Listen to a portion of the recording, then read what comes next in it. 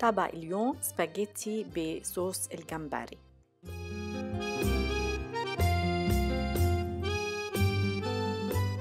والمكونات اللي مطلوبة هنا 12 جمبرياية متقشرة فصين توم متقشرين معلقتين خل واحد معلقة زيت زيتون واحد فص توم مفروم 400 جرام من صوص الطماطم وملح وفلفل وشطة ناشفة حسب الرغبة.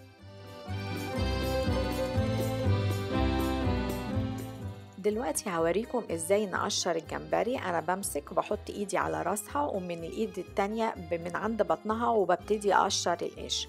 أنا هسيب الراس مش هقشرها لأن الراس هي اللي هتدي الطعم كله للصوص. ال 12 جمبرياية دول ممكن يأكلوا من 3 ل 4 تنفار على حسب طبعا الرغبة. شايفين أنا سايبة الديل والراس زي ما هي. وبسكينة بشق ظهرها وبطلع المصارين اللي جواها وبحطها في طبق عشان الطبق دوت أنا هعمل هتبل فيه بالملح والفلفل وفصين الثوم اللي هقسمهم بالنص وأسيبهم يتبلوا شوية. كل لما يتبل الجمبري يعني اتليست ساعة بس كل ما يبقى فيه وقت أكتر هو متبل بيبقى طعمه أحلى. وبكمل الكمية كلها بنفس الطريقة زي ما قلت لكم بقشر لكن بسيب الراس دايما.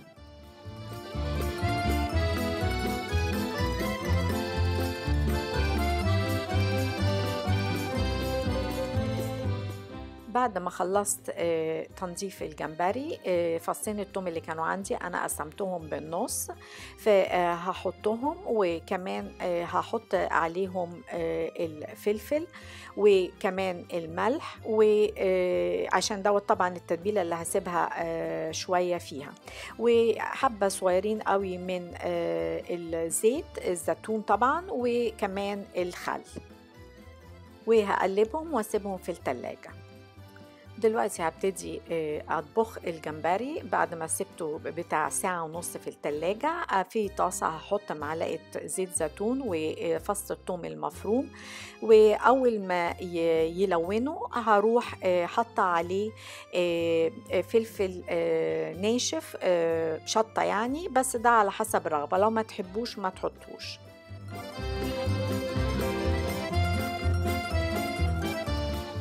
دلوقتي أول ما احمرت الشطة والثوم هبتدي أحط الجمبري. بحاول أحط بشويش عشان مش عايزة الفصين الثوم اللي هم كانوا محطوطين في وقت التتبيل ينزلوا لأن أنا فرمت اوريدي وحمرت الفص الثوم اللي لوحديه كان. هما برضو وقعوا بس أنا هشيلهم بعد كده. دلوقتي شلتهم وهسيبهم وهديهم تقليبة يستووا.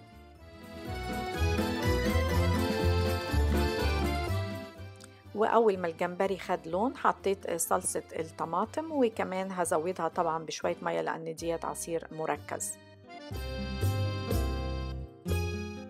في نفس الوقت اللي الصوص بيتحضر فيه حضرت مية بتغلي. أول ما غليت بحط شوية ملح عشان أحدق المية. وبعدين هحط السباجيتي. طبعا مش هكسرها ده number five لأن هنا حتى السباجيتي ليه أرقام. أول ما هحس إنها بتدبل شوية هبتدي أزق بالشوكة عشان كله يستوي في نفس الوقت.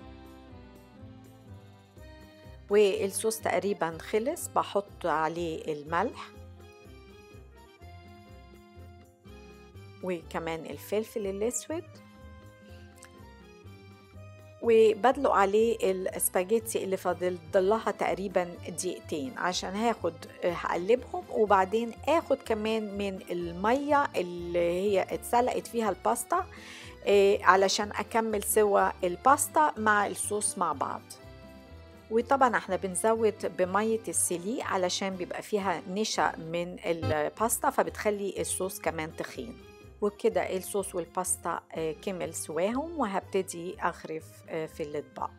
وبفكركم إن تحت الفيديو على ال description لو دوستوا عليه هتلاقوا المكونات وشرح الطريقة وأتمنى أنكم تجربوها وإن شاء الله هتعجبكم. وما تنسوش اللي ما عملش subscription إنه يعمل وكمان تعملوا share وأشوفكم في فيديوهات تانية من كارمن في إيطاليا.